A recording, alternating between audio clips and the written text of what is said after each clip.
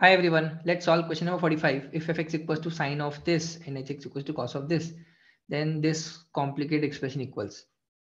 So let's try to write this first. first.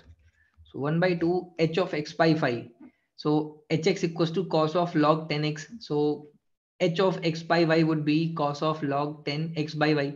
So that would be cos of log 10 x by y and plus h of x xy that would be cos of log 10 xy. So this is the first expression. So let's try to simplify this one. Let's take log 10x as a and log 10y as b.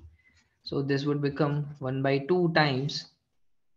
With the help of property of log, we can write this as log 10x minus log 10y, right? So basically cos of a minus b, right? Because cos A is log 10x and cos uh, and B is log 10y plus cos of log 10 xy and with the help of property of log we can write this as log of log 10 of x plus log 10 of y.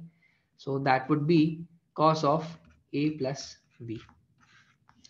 So that would be 1 by 2 that is cos a cos b plus sin a sin b and that would be cos a cos b minus sin a sin b. So plus sin a sin b and minus sin a sin b get cancelled out this would become 2 times cos of cos A dot cos B, right?